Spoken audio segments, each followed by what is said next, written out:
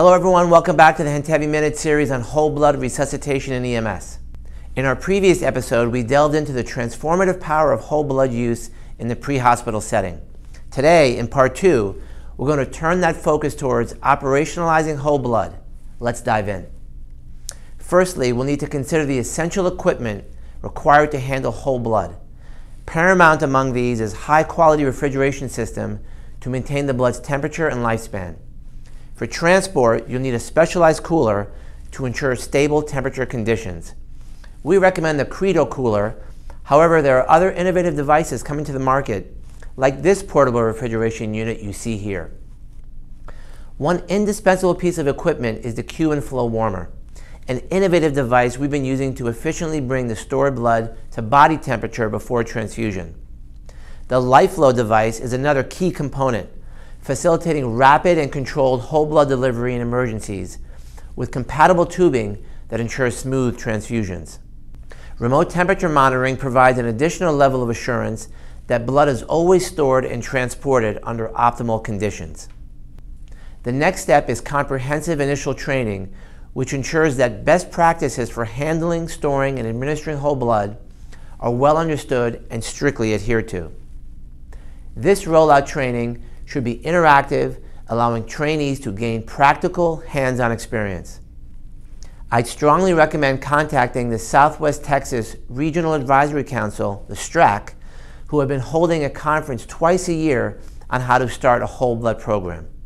Their email is here on the screen, so please reach out to Dr. Winkler and his team. But it doesn't stop there.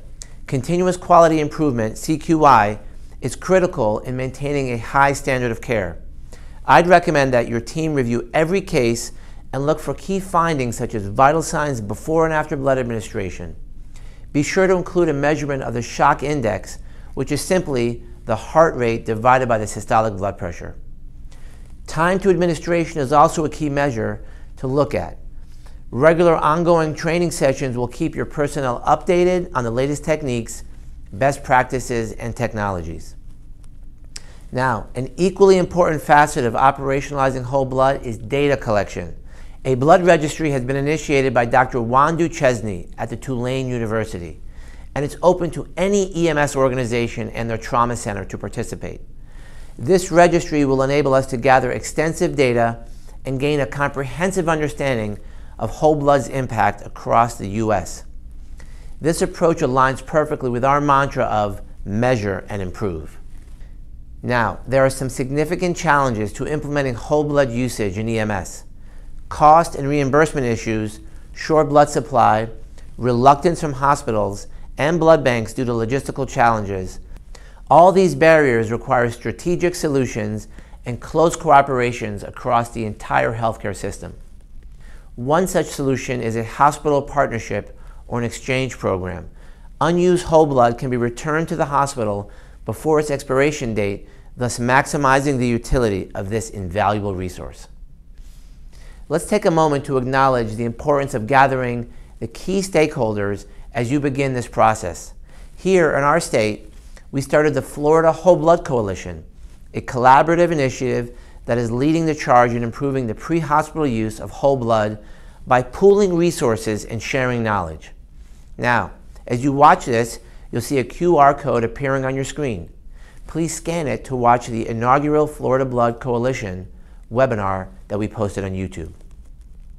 Lastly, community blood drives play a crucial role in increasing the blood supply, making it more accessible for EMS use. Beyond just boosting the supply, these events raise awareness and build public support for this important cause. So in conclusion, while the road to adopting whole blood and EMS has its challenges, it can truly revolutionize emergency care. Strategic planning, ongoing training, partnerships, and community involvement are all essential. In our next episode, I'll delve into protocols, implementation, and the specifics of pediatric and adult care. Until then, remember each of us plays a vital role in this journey, and together we can save lives. Thank you for tuning in.